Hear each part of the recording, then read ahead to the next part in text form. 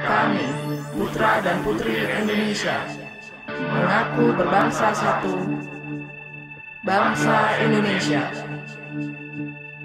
Kami, putra dan putri Indonesia, mengaku bertanah air satu, tanah air Indonesia.